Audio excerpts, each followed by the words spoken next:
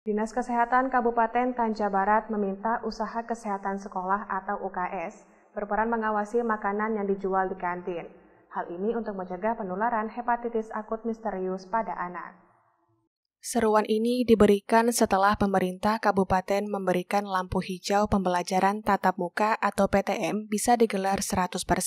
Kepala Dinas Kesehatan Kabupaten Tanja Barat Zaharudin mengatakan, meski kasus hepatitis akut misterius belum ditemukan di Tanja Barat, namun antisipasi terhadap virus tersebut terus dilakukan terutama terhadap anak-anak. Dari itu, dirinya menghimbau kepada UKS di sekolah punya peran. Kantin sekolah dipantau dan meminta pedagang tidak menjual makanan siap saji. Zaharudin juga meminta kepada orang tua yang memiliki anak usia di bawah 16 tahun agar lebih berhati-hati saat membawa anaknya berkegiatan di luar rumah, terutama saat makan di tempat makan harus memastikan kebersihan makanan. Kedua, asupan makanan yang dimakan harus yang baik dan higienis itu menjadi skala prioritas. Himbau ya terutama pada anak sekolah ya untuk berhati-hati jajan uh, di tempat-tempat sekolah jadi harus dijaga higien ya tempat jajan anak-anak sekolah itu betul-betul dipantau nanti di dinas kesehatan kita akan perintahkan uh, untuk bagian terkait ya untuk memantau tempat-tempat uh,